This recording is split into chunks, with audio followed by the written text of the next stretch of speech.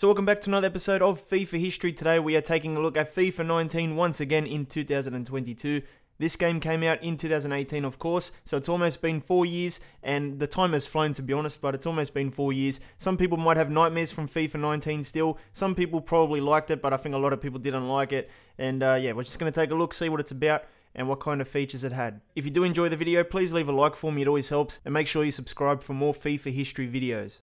I just love how EA's trying to sell you FIFA 22 while you're on FIFA 19. I mean, I know it's just come out for PlayStation Plus, so it's technically free, but they want you on the newer games, man. They don't want you on those old games because uh, they're not making any money out of you. Look at that. The whole right-hand side is just about FIFA 22. But anyway, here is the menus for FIFA 19. Looks the same as like FIFA 17 and FIFA 18 and stuff. Um, I think that blue still gives me nightmares. The blue background always gives me nightmares, that color. But as you can see, you've got your skill games, your practice arena, all that kind of stuff there. The Champions League, which was a new license at the time. This was the year that they brought in the Champions League license. And of course, they made a big deal out of that one. And uh, the rest of it seems pretty familiar. Let's take a look at the EA catalog. Remember that one? You know, you had your boots and stuff. You still get your boots these days, but just in a different way.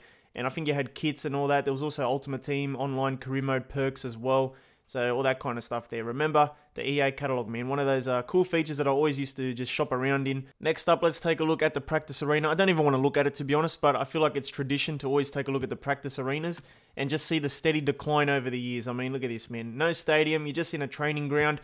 It's probably Ronaldo's backyard, to be honest. This is probably just Ronaldo's backyard in his house somewhere. So yeah, wouldn't surprise me. But as you can see, no features. All you can do is select sides and exit. There's nothing else to do besides, uh, you know, practice free kicks and all that by pressing the up button. But the rest of it is pretty bad, man. There's nothing to do. What do you even do on this, man? Who plays more than two minutes of this practice arena anymore? All right, let's go over to career mode here. Let's see what we've got to work with.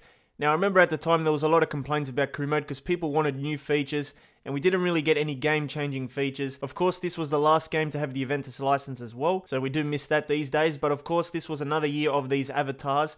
Remember these avatars, man? Everyone had enough of these by FIFA 19. They wanted to create their own managers. Yeah, I mean, this was pretty bad, man. No one wanted this by FIFA 19. Everyone was complaining. You've got your European competitions, which was new at the time, like I said. You had your Champions League and Europa League, which is a nice license to have in the game. You've got to have these licenses. Now, this was also the career mode to have only four save slots. Do you remember this? Four save slots for career mode people. Completely ridiculous. I don't even know what the excuse was at the time. And, uh, you know, I only had four saves, and this is when I was doing my, like, videos. These are all, like, experiment videos and stuff. But four save slots, mate. Even eight is not enough for me. I need, like, 30 or something. You know how many profiles I've created just to have more save slots in career mode? It's ridiculous. But four save slots. You can see the menus in that was pretty much the same. Uh, a lot of people were calling for change by now, I mean, They wanted change in career mode.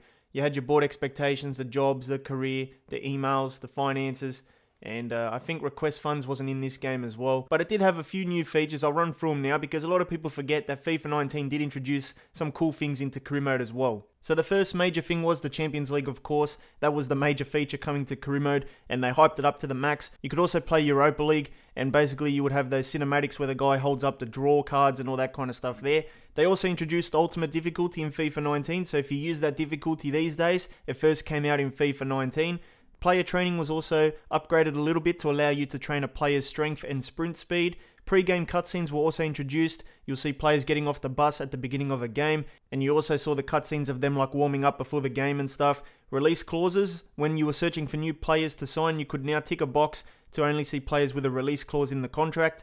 And uh, also, this was another nice detail. They upgraded the badges when you got promoted, and they like changed the badges when you got relegated. If you're in different competitions, you would have like the Carabao Cup patch, the FA Cup patch, even the Gold Premier League patch if you won it, even the Bundesliga and stuff. Uh, it did change for a few competitions, and also the numbers on the back of the jerseys. Yeah, that was another little detail. These are little things, but it does make a difference.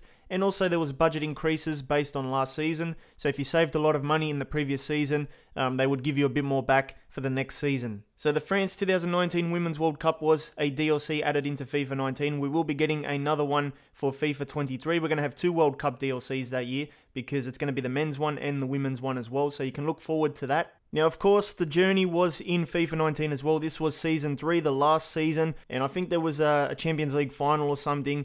And I remember maybe the Women's World Cup was a part of it as well. And uh, this game also featured that 1960s football match that we took a look at probably two months ago now or something. And uh, you could play like this vintage game. It looked very, very nice, very cool. And uh, that's a bit of what it looks like right there on your screen. So yeah, it just sort of completed the trilogy. Let me know if you played the journey. Some people liked it, some people hated it. But overall, it was a nice experience, something a little bit different. And there was some cool things that they still need to bring over to normal player career mode as well. Alright, so we're going to play a game now. We're going to play in the Champions League because they had the license. And we're going to use Juventus because that license has now disappeared and we're probably going to verse maybe PSG. Now, we're also going to play at the Juventus Stadium on Legendary difficulty. We have to play at the Juve Stadium because, you know, that's not in the game anymore as well. What we might do is play Ronaldo up front and also bring in uh, Douglas Costa on the left. And uh, we've got Bonucci Chiellini, 90 overall Chiellini as well. I think we'll keep it like that, have a bit of fun. Let's see how we go. So there we go, the Allianz Arena or the Allianz Stadium. I don't know which one it is, but we'll call it the Juventus Stadium and that's what it says there on the thing as well. So it looks beautiful. Of course, it's been missing for a couple of years, but I do miss it. Remember the blue Champions League ball? It's all coming back to my mind now, all the memories. Still got that dodgy trainer. How many times does that trainer come up? All the time. No matter how many times you get rid of it, it just keeps coming back for more. I don't understand. But anyway, um, the graphics actually look very nice in the Juve Stadium. The grass looks a beautiful green. And uh, you've also got banners and stuff. I miss this stadium, man. I haven't played in this stadium in so long. Alex Sandro, let's go for Ronaldo here. I reckon he can win that header. Ronaldo, this guy can do anything in a game. He's literally like superhuman. So let me know if you played FIFA 19. If you still play FIFA 19, um, let me know if you hated it or liked it. Any memories of FIFA 19. Let me know in the comments, man. I always love talking about older FIFA games. And that was a big strike there by Mbappe. I mean, I thought it was hitting the back of the net. I'm very surprised. Bonucci, Plays it up to Can. We've got Douglas Costa calling for it. He's going to get there. Chips it into Ronaldo. Oh my goodness. Ronaldo got a little bit too excited there. We've got Mbappe on the ball. This guy can do anything. Got to watch him. Neymar. Bonucci cuts it out. We've been playing very well, and it's opened up again for Douglas Costa, who's been completely dangerous here, but they're sort of keeping up with him. And uh, that final pass has been very dodgy, man. When you play these older games, it's crazy to see some of the lineups because it brings back the memories and um, how certain players have left, how certain teams have changed over the couple of years. You know, some players do stay, but there's a lot that actually leave as well. So you don't realise until you come back all the changes a team has over just like three or four years. Oh, that's a bad challenge. That's a bad challenge. He took out two players. Friendly fire as well. Bonucci, I'm surprised he's not sent off there. I mean, you know a tackle's bad when he gets none of the ball and he takes out his teammate as well. Let's see what we can do here. Got to defend, got to wake up. Mbappe with the strike hits the post. Wow. This guy's just shooting from anywhere, and it's so dangerous. Let's play it up, lay it off. Quick passes. Doing very well here. Douglas Costa makes the run. Couple quick passes always gets you in behind. This could be the chance. Douglas Costa has a hit, and he scores. Hits the post, and it goes into the back of the net, and there we go. Neymar on the ball. We cut it out again with Dybala. Dybala playing like prime Maldini. Pjanic over the top. He's going to find Joao Cancelo. And he's going to go across goal here to Douglas Costa, who got a little bit too excited. And the excitement was worth it because he's just scored an absolute banger. What a pass from Cancelo. And he hit it first time. I was not expecting that to go in, but what a strike. Wow. And we cut it out again. Our defence has been on point today.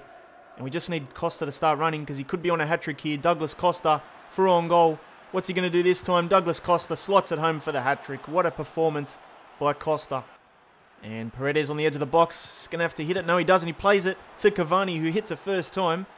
And it's one back for PSG. So a couple more minutes here, not much to go.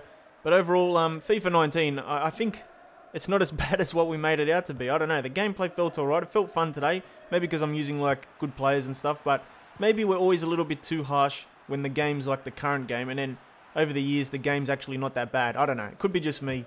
But one game's not going to tell you the full picture. I need to come back and keep playing it. I don't know, man. It's weird how you just come back and you forget all the things that you said bad about the game at the time. But yeah, career mode obviously didn't have too many like game-changing features. But the gameplay was alright, like it was pretty fun. I think we'll leave it there. So if you did enjoy, make sure you leave a like for me and make sure you subscribe for more FIFA history. I'll see you next time.